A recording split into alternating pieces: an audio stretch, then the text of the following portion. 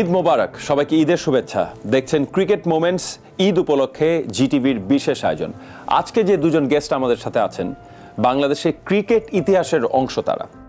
মেহরাব হোসেন অপি, বাংলাদেশের প্রথম international centurion, এবং মঞ্জুরুল ইসলাম মঞ্জু, বিশ্বকাপে বাংলাদেশের প্রথম জয়টা স্কটল্যান্ডের বিপক্ষে, সেখানে তার গুরুত্বপূর্ণ অবদান ছিল। চলুন আমাদের গেস্টদের ওয়েলকাম করি। মঞ্জুরুল ইসলাম এবং মেহরাব হোসেন অপি আহ, অপি ভাই ঈদ মোবারক মঞ্জু ভাই ঈদ মোবারক।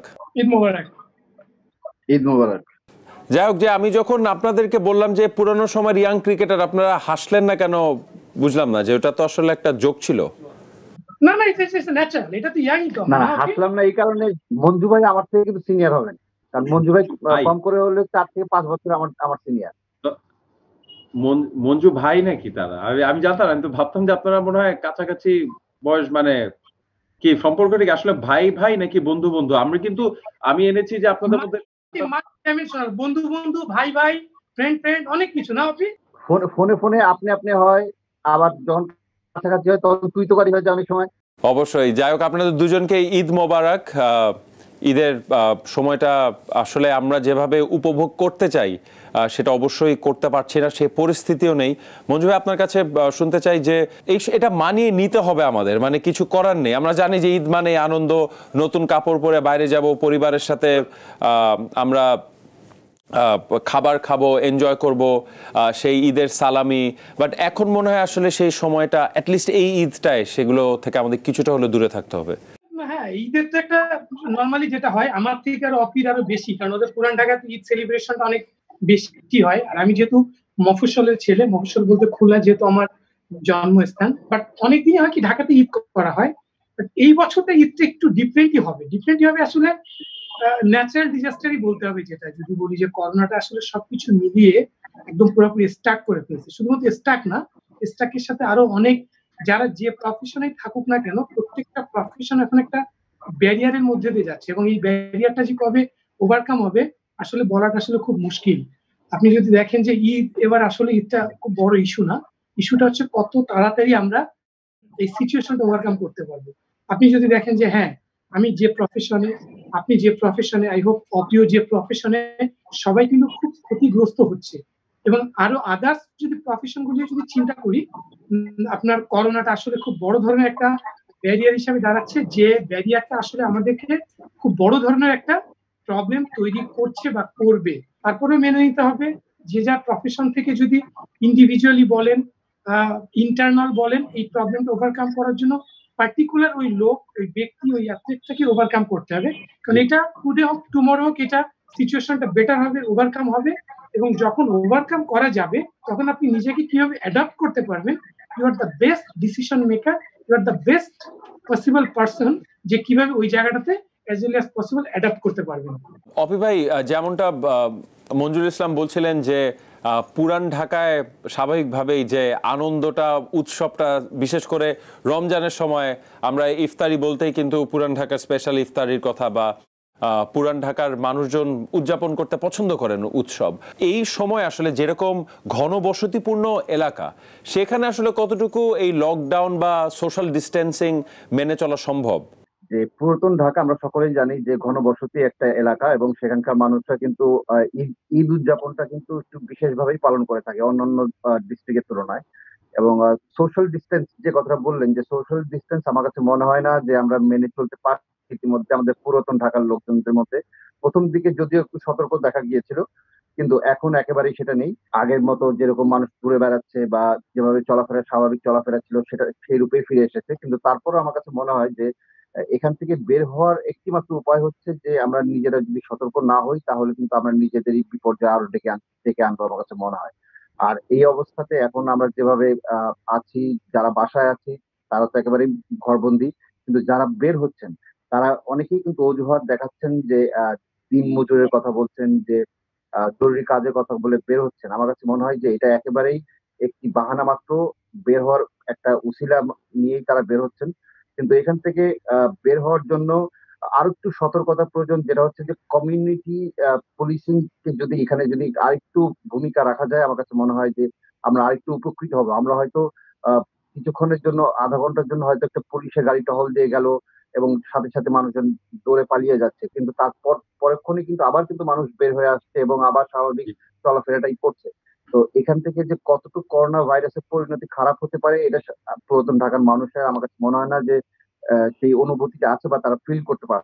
তাদের জন্য সব থেকে ভালো একটু কারণ হতে পারে যে কমিউনিটি পুলিশিং এর দ্বারা যদি আরেকটু সচেতনমূলক কাজ করা যায় তাহলে হয়তো আহ, আরেকটু উপকৃত হচ্ছে পুরাতন ঢাকার লোকজন। আমি দেখলাম যে মঞ্জুরুল ইসলাম আপনি যে কথাগুলো বলছেন, খুব চিন্তিত হয়ে গেল যে কি হয়ে গেল করোনার সময় মেহরাব হোসেন অপি এত সিরিয়াস কথাবার্তা অবাক হচ্ছেন নাকি? কারণ আমরা তো জানি যে মেহরাব হোসেন, অপি খুবই দুরন্ত, দুষ্টু। আসলে আপনারা যখন খেলেছেন মানে এখনও জানি যে অপি ভাই is very young and very naughty যেটা বলা যায় আসলে, যে মজা করতে অনেক পছন্দ করেন। অফির অফিস যে জিনিসটা ভালো, যে আমরা যখন একসাথে খেলতাম স্পেশালি নাইনটি নাইন ওয়ার্ল্ড কাপের আগে যে ট্রেনিং ক্যাম্পটা ছিল বিকেএসপি অনেক মেমোরি এই মেমোরি গুলো আসলে এইভাবে শেয়ার করা যায় না। এটার জন্য একটা পরিবেশ লাগবে। This is not a right পরিবেশ, এই পরিবেশ, এই জিনিসগুলো পাওয়া যাবে না। এটাকে আসলে তারপর আরেকটা ম্যাচ ছিল যেটা অফি মনে আছে অস্ট্রেলিয়ার সাথে একটা ড্রেসিং রুমে খেলা দেরিতে শুরু হচ্ছিল। শান্তকিন একটা ইনসিডেন্ট শান্ত যে কানতে কানতে বেরোচ্ছিল। অফির যে একটা প্রতিবাদী ভূমিকা, তখন অনেকগুলো ইস্যু আছে বাট সবকিছু মিলিয়ে আসলে। মেহরাব হোসেন অপির ব্যাটিং নিয়ে কথা বলতে চাই। মঞ্জু ভাই, যে অপি ভাই স্ক্রিনে আছে বলে বলছি না ফ্যান হিসেবে যদি আমাকে বাংলাদেশের একটা অল টাইম ইলেভেন বানাতে হয় যে আমার ওপেনিং ব্যাটসম্যান হবেন তামিম ইকবাল এবং তার সাথে মেহরাব হোসেন অপি। এবং তামিমও কিন্তু রিসেন্টলি তার লাইভে এসে মেহরাব হোসেন অপির ব্যাটিংয়ের অনেক প্রশংসা করছিলেন। একটা জেনারেশন হয়তো অপির ব্যাটিং দেখেনি আর কি, কিন্তু দ্যাট ক্লাস সেই সাহস স্পেশালি নাইনটি নাইন ওয়ার্ল্ড কাপে সেই দুর্দান্ত পারফরমেন্স অপির, সেটা নিয়ে কিছু যদি বলেন যে বন্ধুর ব্যাটিংয়ের মূল্যায়ন। ক্যারিয়ার নিয়ে কিছু বলব না। অলমোস্ট অপিরও ক্যারিয়ারের শেষের দিকে আমারও ক্যারিয়ারের শেষের দিকে আমরা একটা ন্যাশনাল লিগ খেলছিলাম। ফার্স্ট ক্লাস ক্রিকেটও ছিল খুলনাতে। আমি খুলনা টিমের ক্যাপ্টেন ছিলাম। অপি ওদের ঢাকা মেট্রো না ঢাকা মেট্রো বোধহয় না অপি? মেট্রো ঢাকা ডিভিশন সে সময় ডিভিশন ডিভিশন ডিভিশন তো তো ঢাকা ডিভিশন তখন ওর টিমে প্লেয়ার ছিল নাদীপ তখন কারেন্ট নাদীপ একটু ন্যাশনাল টিমে ঢুকছে তখন আমি টিম মিটিংয়ে বলছিলাম নাদীপকে নিয়ে প্ল্যান করছে আরও এক্স ওয়াই জেড অনেককে নিয়ে প্ল্যান করছিল। আমি বললাম এদেরকে প্ল্যান না করে অপিকে প্ল্যান কর। তো তার আগের দিন অপির সাথে কথা হলো। অপি কি খবর? তো দোষ কোনো প্র্যাকটিস নাই কিছু নেই কালকে ডিরেক্ট ম্যাচ খেলব। খালি আমার পাঁচটা ছয়টা বল খেলার সুযোগ দিস বাট আমি এই জিনিসটাই ছেলেদেরকে বললাম বলার পর অপিকে আমরা আউট করতে পারি? এবং ওর সিক্সটি ফাইভ না কত রানের একটা ইনিংস ছিল তখন চার দিনের পর একটা ওডিআই ম্যাচ খেলতাম। না অপি আমরা একটা ফিফটি ওভারের একটা ম্যাচ ওডিআই ওই ম্যাচটা আমরা হেরে গেছিলাম। So that is Opi that was Opi তো সেই ক্ষেত্রে আসলে ওকে ওকে নিয়ে আসলে ক্লাস বলেন ওর ওর অ্যাবিলিটি ওর কোয়ালিটি নিয়ে তো আসলে কোনো মানে ওর ওর ক্যারিয়ারই বলে ওর নামটাই বলে। অ্যাবসলিউটলি দারুণ compliment Mehrab Hossain Opi ah, thank you thank you তো আপনার কি আক্ষেপ হয় নাকি অপি যে ক্যারিয়ারটা আরও লম্বা হতে পারতো জাতীয় দলে আরও কন্ট্রিবিউট করতে পারতেন? আক্ষেপ তো অবশ্যই হয় যে আহ, নিজের কিছু ভুলের কারণেই কিন্তু আমি ক্রিকেট থেকে কিন্তু অনেকটাই কিন্তু সে সময় টু থাউজেন্ড থ্রিতে টু থাউজেন্ড থ্রিতে কিন্তু সরে গিয়েছিলাম। তো সেক্ষেত্রে আমার কাছে মনে হয় যে আপ মানে আক্ষেপ অনেক অনেক বেশি অনেক বেশি আছে, কিন্তু কখনো সেটা প্রকাশ করা হয় না। কিন্তু তারপরেও আমার কাছে মনে হয় যে ক্রিকেট থেকে যা কিছু পেয়েছি বা ক্রিকেট আমাকে যা কিছু দিচ্ছে, এখনও যা যতটুকু দিচ্ছে, সেটার জন্য আলহামদুলিল্লাহ। আরেকটু উপরে নিয়ে যেতে পারতাম হয়তো ক্যারিয়ার নিজের ক্যারিয়ারটাকে কিন্তু নিজের কিছু ভুলের কারণে হয়তো সেটা নিতে পারিনি।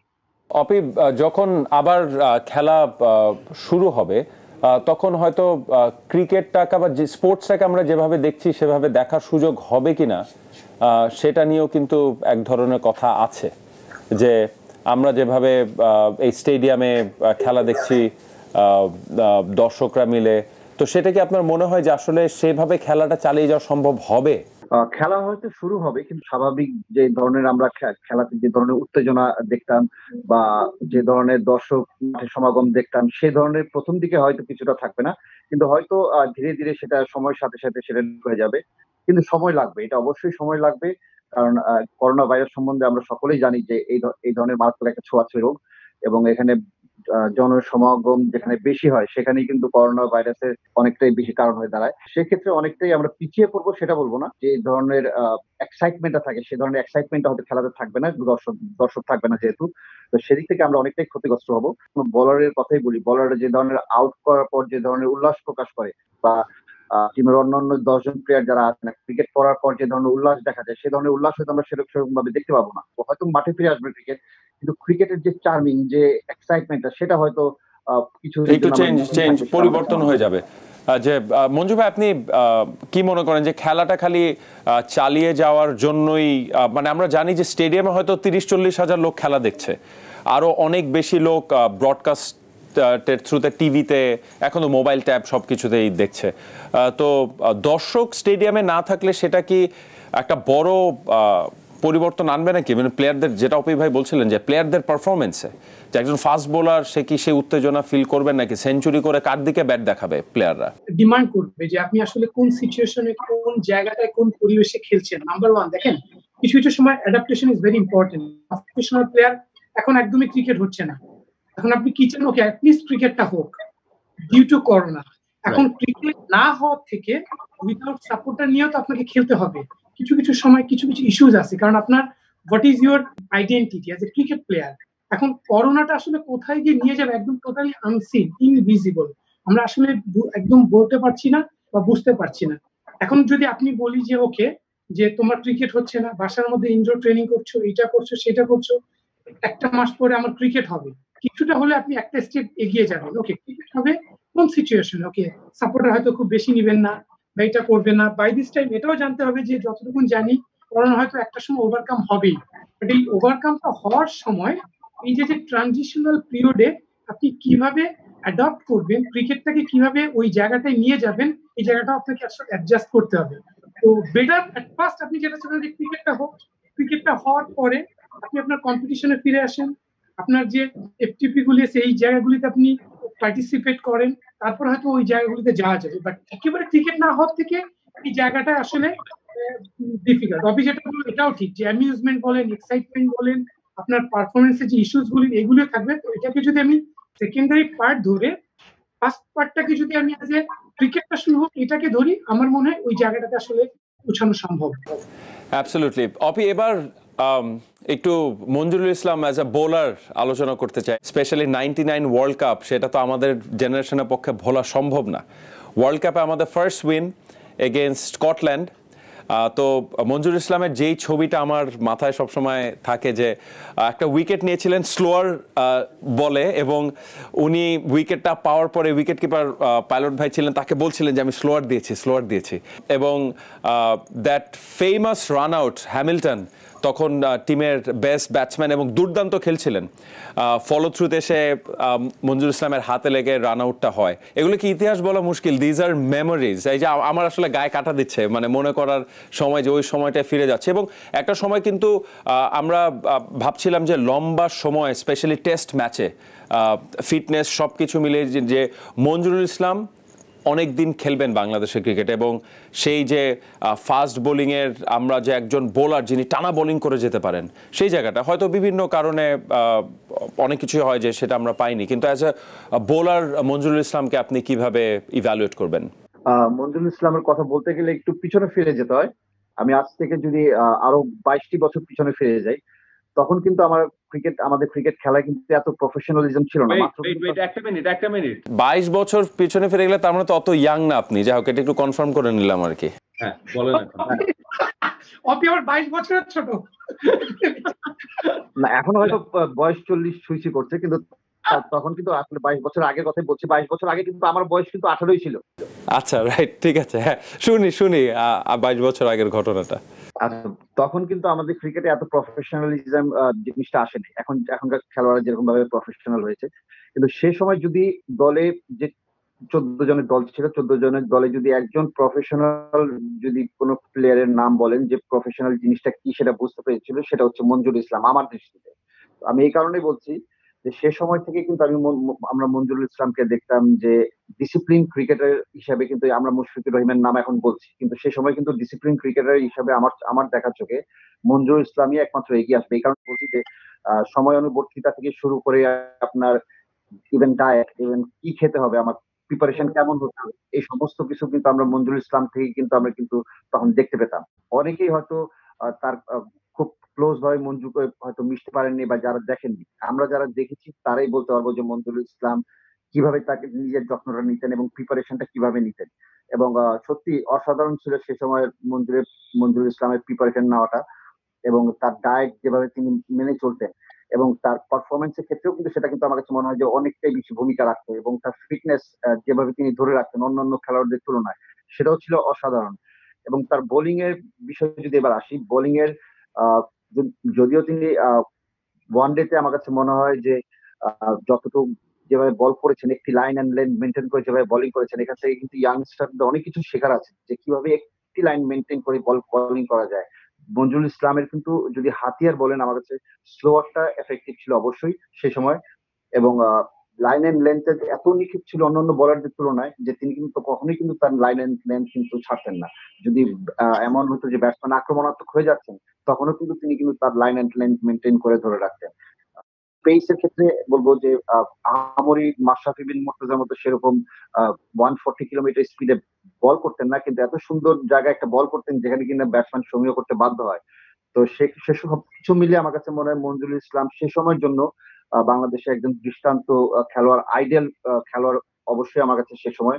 অনেকেই মঞ্জুরুল ইসলাম হয়তো পারফরমেন্সটাই দেখেন, কিন্তু মঞ্জুরুল ইসলাম কীভাবে খেলোয়াড় জীবনে তিনি উঠে এসেছেন, সেটা হয়তো কখনোই কিন্তু বলা হয়নি, কিন্তু আজকে এই অনুষ্ঠানের মাধ্যমে বলার যেহেতু সুযোগ হলো যে সত্যি মঞ্জুরুল ইসলামের সেই ডিসিপ্লিন লাইফ স্টাইলটাই কিন্তু তাকে আমার কাছে মনে হয় যে বড় এরিনাতে খেলতে সাহায্য করেছে এবং তাকে সেই